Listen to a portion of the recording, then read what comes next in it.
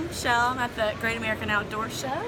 Just wanted to introduce you to this really cool mechanism for women out there that doesn't feel safe when they're by themselves. You can use this as a brush, but you can also use it as a weapon. It's called the Honey Comb, and it is absolutely amazing. Please check this out. You've got to get one. It's absolutely amazing. Again, like I said, it's a brush, but also a weapon.